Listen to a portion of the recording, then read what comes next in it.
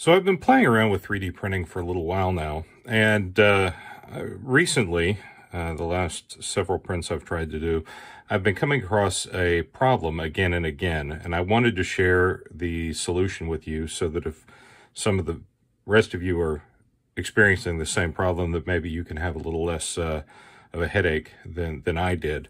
Uh, so let me show you what was happening. Um, I was uh, printing things that appeared to have, uh, it was like the, the material wasn't extruding right. It, I'd have gaps uh, in the face of the printing and then the layers would uh, just delaminate like this uh, very, very easily and just completely came, come apart. It was, uh, the prints were very spongy um,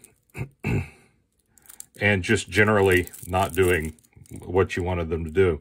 Uh, I, I, started with uh, kind of chasing back the problem from the uh, the the printing tip all the way uh, to the extruder motor, and uh, wish I'd started the other way around because the the problem was uh, on the on the motor end. But I I you know took apart the hot end and made sure that there wasn't a clog. I went back through uh, the Bowden tube and made sure all of that was working right. And here is what I eventually found. So this is the, uh, well, I've got a uh, an Ender 3 by uh, made by Creality. Um, and what I found was this. This is the uh, tension arm on the extruder motor uh, set up and uh, you you have the little drive gear right here uh, and it pivots on this. There's a spring here that pushes back so that this little idler pulley here actually puts tension on the um, uh, on the filament so that uh, as the extruder motor turns, it actually pushes it into the hot end. Uh, and here was my problem. As you can see, is it from the top down, the way you would see it naturally on the machine, you can't notice any problem at all. Uh, but when I took this off, I noticed this. There's a great big crack uh, that uh, completely negates any tension you might be putting on uh, to the filament with this pulley. Uh, and uh, so I bought a replacement from for it, and is as soon as I put the replacement on, um, it it solved the problem immediately. Uh, I'll show you what the uh, replacement looked like, and if you're having problems similar to this, I would suggest the upgrade. So a little bit of a product review here as well.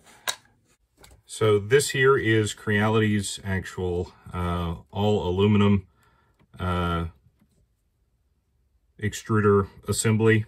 Um, you've got an aluminum arm now, which will have a whole lot less of a chance of cracking, uh, as well as uh, it, the kit that I bought came with a uh, a higher temperature uh, Bowden tube, uh, so that will will help with with higher temperature prints with PETG and ABS and stuff.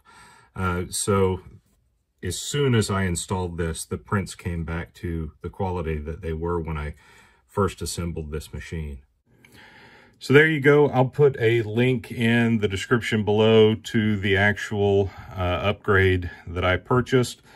Um, there's many number of upgrades that uh, that may do just as well, but the one that I bought was the actual Creality model, uh, and it's been working great. So uh, just wanted to share a troubleshooting uh, experience with you to help maybe prevent you from having the same headache that I did. Thanks. Bye.